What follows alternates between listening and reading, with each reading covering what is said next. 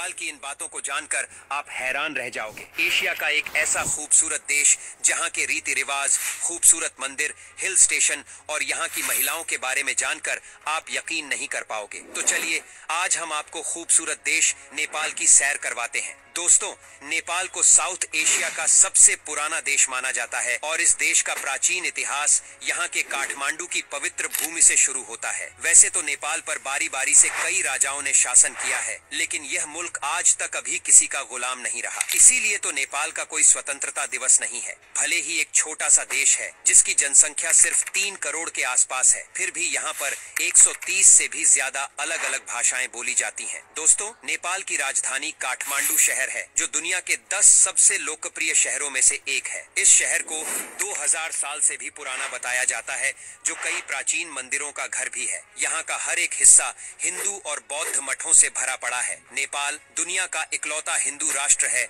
जहाँ पर 80 फ़ीसदी हिंदू 9 फ़ीसदी बौद्ध और 11 फ़ीसदी में अन्य धर्मों के लोग रहते हैं। इस देश की सबसे बड़ी पहचान है माउंट एवरेस्ट और हिमालय। और साथ ही आपको बता दूँ कि दुनिया के 10 सबसे ऊँची छोटी यू में से आठ यहीं पर मौजूद हैं। नेपाल पानी को सुरक्षित करने के मामले में वर्ल्ड में दूसरे नंबर पर है। यहाँ पर पानी को बिल्कुल भी बर्बाद नहीं किया जाता। आपको जानकर हैरानी होगी कि यहाँ ज़्यादातर लोग गरीब है, जिसका कारण है फैक्ट्री और बड़ी कंपनी का यहाँ पर न आना। दोस्तों, नेपाल का राष्ट्रीय पशु गाय है, जिसे नुकसान पहुँचाने पर सख्त मना है। यहाँ की करेंसी को नेपाली रूपी कहते हैं, जिसका मूल्य भारतीय रुपए से भी कम है। मतलब कि एक भारतीय रुपए नेपाल के एक रुपए बासठ पैसे बन जाते हैं। भारत और नेपाल के बीच काफ़ी अच्छी दोस्त है। तभी तो हर भारतीय नागरिक को बिना वीज़ा और पासपोर्ट के नेपाल में आने की छूट है। केवल एक आईडी कार्ड साथ ले जाना होता है, जबकि बाकी देशों के लोगों को यहाँ वीज़ा लेना पड़ता है। नेपाल के काफ़ी सारे युवा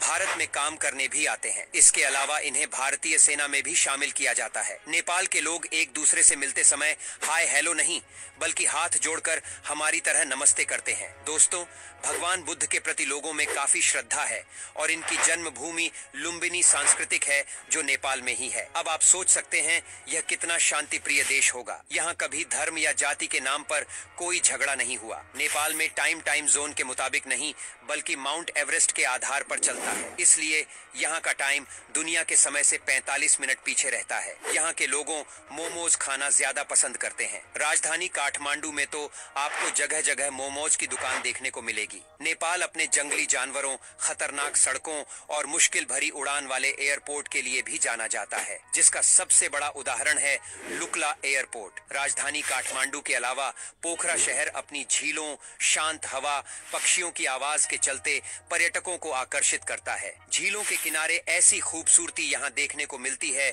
कि आने वाले लोग अपने सारे दर्द और गम भूल जाते हैं। पोखरा घाटी से हिमालय की ऊँची चोटियों को आसानी से देखा जा सकता है। वैसे तो यहाँ अनगिनत मंदिर हैं, लेकिन पशुपतिनाथ मंदिर के प्रति लोगों में अलग ही श्रद्धा है। ये मंदिर हिंदू लोगों के आठ सबसे प्रमुख मंदिरों में से एक है जो नेपाल के काठमांडू में आता है। चौक और आकार में बने इस मंदिर के चार दरवाजे को चांदी से बनाया गया है। इसके ऊपर शेर का चित्र भी लगा हुआ है। मंदिर के आसपास भी सुंदर नजारे दिखाई देते हैं। नगरकोट यह एक हिल स्टेशन है जो काठमांडू से 32 किलोमीटर दूर है। लगभग सात हज़ार मीटर की ऊंचाई पर मौजूद इस हिल स्टेशन के बारे में एक बात आपको चौंका देगी कि यहाँ से हिमालय की चोटियों के साथ साथ माउंट एवरेस्ट का सूर्योदय भी दिखाई देता है। हिमालय की गोद में बसा नेपाल दस लाख सैतालीस हज़ार एक सौ इक्यावन स्क्वायर किलोमीटर में फैला हुआ है। यहाँ पर ज़्यादातर लोग खेती बाड़ी से जुड़े हुए हैं। यहाँ से दूसरे देशों में बड़ी मात्रा में चावल, मक्का गेहूँ एक्सपोर्ट किया जाता है। नेपाल के लोग नेपाली भाषा में बात करते हुए आपको दिखेंगे। यहाँ पर महिलाओं की संख्या पुरुषों से काफ़ी अधिक है। कुल आबादी में लगभग पैंसठ फ़ीसदी